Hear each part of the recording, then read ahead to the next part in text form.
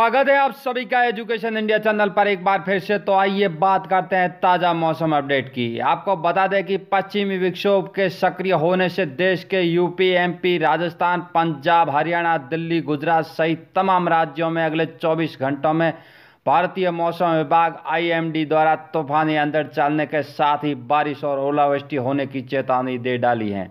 तो दोस्तों, मौसम से जुड़ी संपूर्ण जानकारी जानने के लिए आप बस हमारे साथ वीडियो के अंत तक बने रहेगा लेकिन वीडियो शुरू करने से पहले आपसे एक रिक्वेस्ट रहेगी कि अभी तक आपने इस चैनल को सब्सक्राइब नहीं किया तो जल्दी से सब्सक्राइब कर लें। साथ ही वीडियो को लाइक करना भी ना भूलें, क्योंकि आपका एक लाइक हमारा मनोबल बढ़ाएगा और आपको हर रोज़ मौसम से जुड़े वीडियो उपलब्ध करवाते रहेंगे।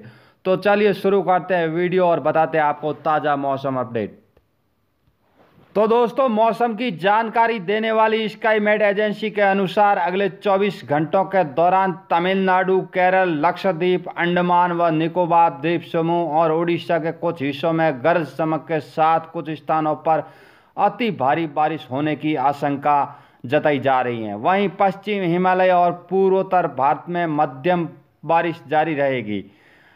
पंजाब, हरियाणा, दिल्ली, यूपी, बिहार, झारखंड और गंगे पश्चिम बंगाल में भी बारिश की गतिविधियाँ बढ़ने की उम्मीद है। राजस्थान में भी धूल भरी आंधी चलने के साथ, गर्ज के साथ बौछारें गिरने की आशंका बनी हुई है। छत्तीसगढ़ के कर्नाटक के कुछ हिस्सों में छुटपुट बारिश की संभावना है। उत्तर पश्चिमी और उससे सटे मध्य भारत में तापमान में गिरावट होने के आसार हैं।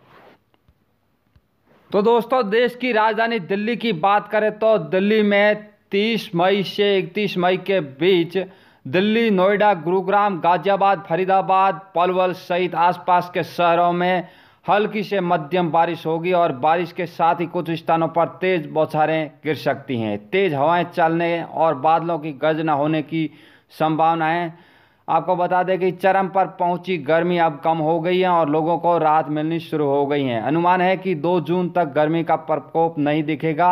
इसी तरह से बरकरार रहेगी क्योंकि एक और दो जून को भी बारिश की संभावना है। हालाँकि 31 मई के बाद से बारिश की तीव्रता काफ़ी कम हो जाएगी। मौसम विभाग के मुताबिक एक सक्रिय पश्चिमी विक्षोभ उत्तर भारत में जम्मू कश्मीर के पास पहुँचा है और उसके प्रभाव से राजस्थान तथा आसपास के भागों पर एक चक्रवाती हवाओं का क्षेत्र बना हुआ है। इन मौसमी सिस्टमों के कारण यह, यहाँ पर मौसम ने करवट ली है और तीन जून से फिर से मौसम शुष्क और साफ़ होने की संभावना है। वहीं समय होगा जब गर्मी भी एक बार बढ़नी शुरू हो जाएगी। इसी बीच आपको बता दें कि दक्षिणी पश्चिमी मानसून केरल के काफ़ी करीब पहुँच चुका है। दक्षिणी पश्चिम मानसून उम्मीद के अनुसार और स्काई मैट एजेंसी के अनुमानों के अनुसार 30 मई को केरल में दस्तक दे सकता है। आपको बता दें कि दो दिन का मार्जिन भी बताया था। दिल्ली को तकरीबन एक महीने का इंतज़ार करना होगा मानसून वर्षा के लिए।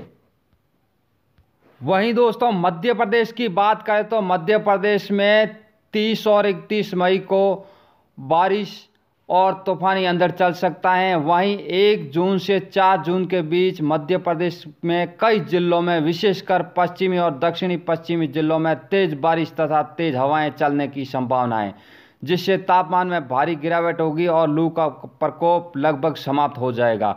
जून के पहले सप्ताह में मध्य प्रदेश के कई जिलों में अच्छी बारिश जारी रहने के आसार हैं, जिससे लोगों को गर्मी से कुछ हद तक राहत मिलेगी और ठंडी हवाएँ चलेगी।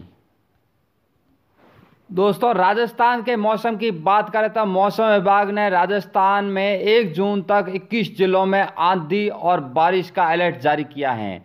मौसम विभाग के अनुसार शुक्रवार को पश्चिम विक्षोभ के सक्रिय होने के चलते हिमालय तराई क्षेत्र में सक्रिय हो रहे पश्चिम विक्षोभ के असर से प्रदेश के पूर्वोत्तर इलाकों में अंधड़ और मेघ गर्जना के साथ बौछारें गिरने व पारे में गिरावट होने पर गर्मी से राहत मिलने की उम्मीद जताई है।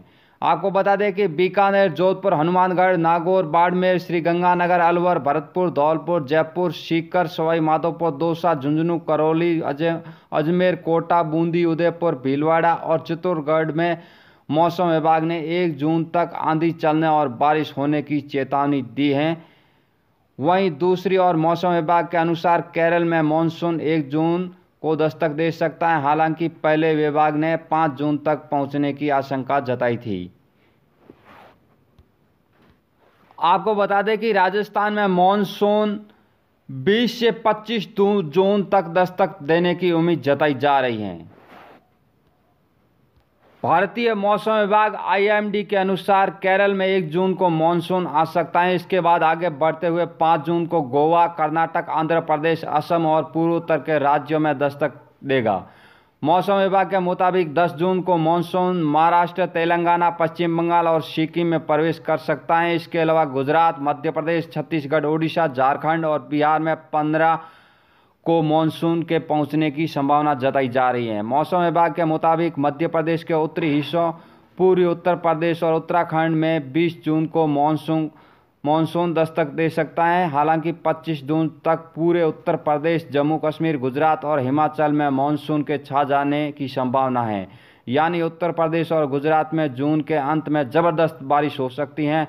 मानसून की सबसे अंतिम प्रवेश राजस्थान, पंजाब और हरियाणा में होगा। मौसम विभाग के मुताबिक इन राज्यों में 30 जून तक मानसून दस्तक दे सकता है। तो दोस्तों, बीते 24 घंटों की बात करें तो बीते 24 घंटों के दौरान तमिलनाडु, केरल, लक्षद्वीप और अंडमान और निकोबार द्वीप समूह के कुछ हिस्सों में बारिश से बहुत भारी बारिश हुई है। दक्षिणी असम, मणिपुर, मिजोरम, त्रिपुरा, गंगे, पश्चिम बंगाल, ओडिशा, झारखंड के कुछ हिस्सों उत्तरी छत्तीसगढ़, उत्तरी पूर्वी मध्य प्रदेश, पंजाब, हरियाणा और पश्चिम हिमालय भागों में हल्की से मध्यम बारिश के साथ एक दो स्थानों पर तेज बारिश देखने को मिली है। उत्तर पूर्वी राजस्थान, उत्तर प्रदेश और दक्षिणी आंतरिक कर्नाटक के भी कुछ हिस्सों में हल्की बारिश हुई है। उत्तर पश्चिमी के मैदानी इलाकों में भी कई हिस्सों पर हीट हेव समाप्त हो गई है और मौसम ठंडा हो गया है। स्काईमेट एजेंसी के अनुसार दक्षिणी पूर्वी अरब सागर पर एक कम दबाव का क्षेत्र बनने की उम्मीद है। पश्चिमी मध्य अरब सागर पर बना कम दबाव का क्षेत्र अब गहरे निम्न दबाव के क्षेत्र में तब्दील हो गया है। इसके डिप्रेशन बनने के साथ साथ उत्तर पश्चिमी दिशा में दक्षिणी ओमान और पूर्वी यमन की ओर जाने की संभावना है। एक चक्रवाती हवाओं का क्षेत्र दक्षिणी पश्चिम बंगाल की खाड़ी और इससे सटे उत्तरी श्रीलंका के तटों के पास बना हुआ है। पाकिस्तान और उससे सटे जम्मू कश्मीर पर एक पश्चिमी विक्षोभ बना हुआ है। इसके प्रभाव से विकसित चक्रवाती क्षेत्र उत्तर पूर्वी राजस्थान पर है। विदर्भ से तेलंगाना और रायलसीमा होते हुए तमिल, आंतरिक तमिलनाडु तक एक ट्रफ रेखा बनाई हुई है। पूर्व में ओडिशा से लेकर पश्चिम में तक पंजाब तक एक ट्रफ रेखा बनी हुई है। पूर्वोत्तर भारत में असम से ऊपर एक सर्कुलेशन बना हुआ है, जिसके कारण अगले 24 घंटों के दौरान देश के तमाम राज्यों में भारी बारिश और तूफानी अंधड़ चल सकता है। तो दोस्तों, मौसम से जुड़ी आज संपूर्ण जानकारी इस वीडियो में दे दी गई है। वीडियो अच्छा लगा हो तो लाइक करें और आगे से आगे इस वीडियो को शेयर करें ताकि अन्य लोगों को भी ताज़ा मौसम की जानकारी मिल सके। जय हिंद, धन्यवाद।